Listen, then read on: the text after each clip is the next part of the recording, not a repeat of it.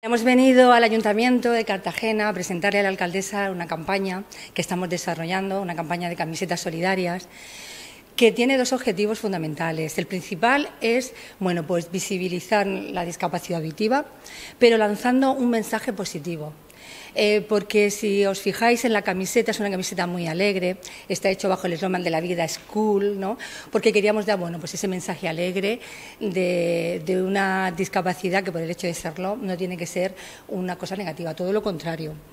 Entonces, bueno, pues queríamos aprovechar que eh, nuestro ayuntamiento pues, bueno, nos ayudara a difundirla, que llegue a todos los sitios, porque también hay una trascendencia económica.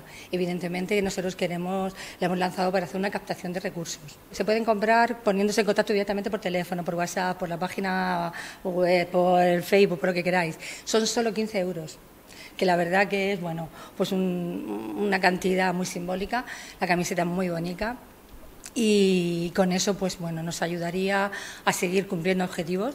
Con esto ayuda mucho a, poder pues bueno tener esa, esa, capacidad económica para seguir avanzando y para seguir trabajando porque al final es mejorar la calidad de vida de las personas sordas.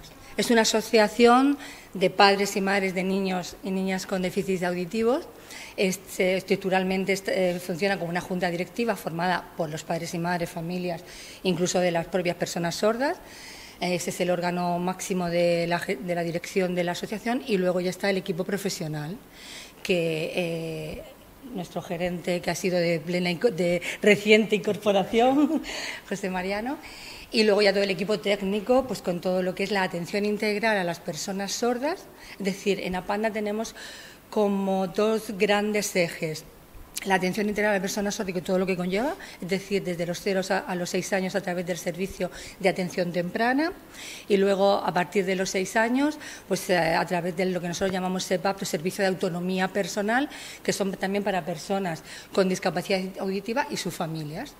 Entonces, pues con esos dos grandes servicios funcionamos con la obtención de subvenciones a través pues, bueno, de la Consejería, Direcciones Generales a nivel autonómico, por supuesto a nivel municipal.